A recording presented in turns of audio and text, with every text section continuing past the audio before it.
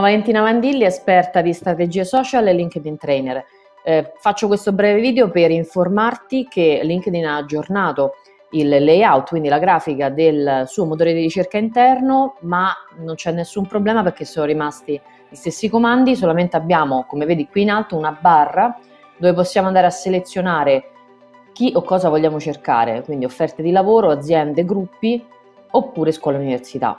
In questo caso se cerchiamo le persone, eh, questa è la selezione giusta, eh, successivamente possiamo andare a impostare dei filtri, ehm, filtri geolocalizzati, filtri di livello, quindi primo livello sono persone che sono nostri contatti, dal secondo in poi non sono nostri contatti e possiamo, faccio vedere l'esempio, acquisirli semplicemente mandandogli, cliccando su collegati e mandando, aggiungendo una nota con un testo eh, di massimo 300 caratteri che può presentarci, aiutarci a farci conoscere.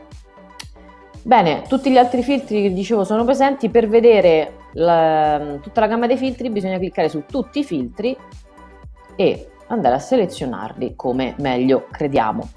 Una volta finito bisognerà cliccare su Apply, ok, e qui ci compariranno dei risultati differenti.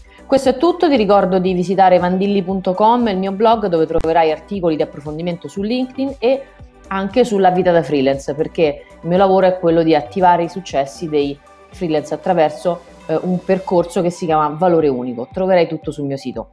Ti saluto e buona giornata, ciao!